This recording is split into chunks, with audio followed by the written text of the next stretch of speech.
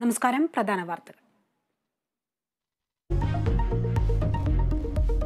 S S L C പരീക്ഷാ ഫലം പ്രഖ്യാപിച്ചു. തൊണ്ണൂറ്റിയൊമ്പത് ദശാംശം ആറ് ഒൻപത് ശതമാനം വിജയം. S S L C regular പരീക്ഷ എഴുതിയ വിദ്യാർത്ഥികളുടെ എണ്ണം നാല് ലക്ഷത്തി ഇരുപത്തി ഏഴായിരത്തി ഒരുന്നൂറ്റി അൻപത്തി മൂന്ന്. അതിൽ ഉന്നത വിദ്യാഭ്യാസത്തിന് യോഗ്യത നേടിയവരുടെ എണ്ണം നാല് ലക്ഷത്തി ഇരുപത്തി അയ്യായിരത്തി അഞ്ഞൂറ്റി അറുപത്തി മൂന്ന്.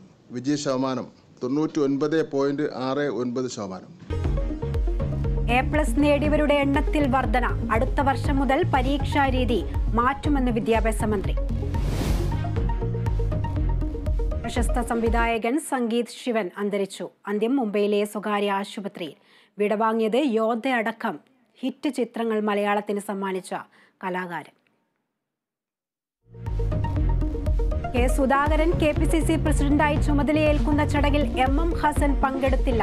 ഹസന്റെ അസാന്നിധ്യത്തെ വിമർശിച്ച് കെ സുധാകരൻ. ഞാൻ എന്നും ആഗ്രഹിക്കുന്നു. അസം മാത്രമല്ല എല്ലാ നേതാക്കന്മാരും രണ്ടു കൂടി ഉണ്ടാവണമെന്ന് ആഗ്രഹിക്കുന്ന ആളാണ്. ഞാൻ കോൺഗ്രസിന്റെ സീനിയർ നേതാക്കന്മാർ എല്ലാവരും ഉണ്ടാവണമെന്ന് ആഗ്രഹിക്കുന്നവരാണ്. അധ്യക്ഷ സ്ഥാനത്തു നിന്ന് മാറ്റി വേറെ ചുമതല തന്നാൽ ഏറ്റെടുക്കുമെന്നും കെ സുധാകരൻ. മുഖ്യമന്ത്രിയുടെ വിദേശയാത്രയെ ന്യായീകരിച്ച് സി പി ഐ എം. മുഖ്യമന്ത്രി പോയത് എല്ലാ അനുമതികളും വാങ്ങിയെന്ന് എം വി ഗോവിന്ദൻ. ഇതിനെ തെറ്റായി പ്രചരിപ്പിക്കുന്നത് കമ്മ്യൂണിസ്റ്റ് വിരുദ്ധതയുടെ ഭാഗം.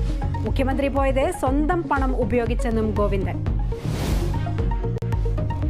സിദ്ധാർത്ഥന്റെ മരണത്തിൽ വ്യക്തത വരുത്താൻ സി ബി ഐ. ഡൽഹി എയിംസിൽ നിന്നും വിദഗ്ധ ഉപദേശം തേടി. സിദ്ധാർത്ഥൻ നേരിട്ടത് ക്രൂരമായ ശാരീരിക ആക്രമണവും അപമാനവുമെന്നും കുറ്റപത്രത്തിൽ. മാസപ്പടിയിലൂടെ മുഖ്യമന്ത്രിയെയും മകളെയും കരുവാരിത്തേക്കാൻ മാത്യു കുഴൽനാടൻ ശ്രമിച്ചെന്ന് എം വി ഗോവിന്ദൻ. വ്യാജ പ്രചാരണം കോടതി വിധിയോടെ പൊളിഞ്ഞു. തെറ്റുപറ്റിയിട്ടും കുഴൽനാടൻ എന്തുകൊണ്ട് മാപ്പ് പറയുന്നില്ലെന്നും എം വി ഗോവിന്ദൻ. ചിന്നക്കനാൽ ഭൂമി ഇടപാട് കേസിൽ മാത്യു കുഴൽനാടനെതിരെ വിജിലൻസിന്റെ എഫ്ഐആർ.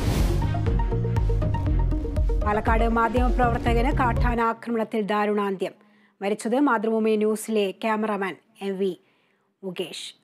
ആക്രമണം കൊട്ടേക്കാട് കാട്ടാനയുടെ ദൃശ്യങ്ങൾ പകർത്തുന്നതിനിടെ.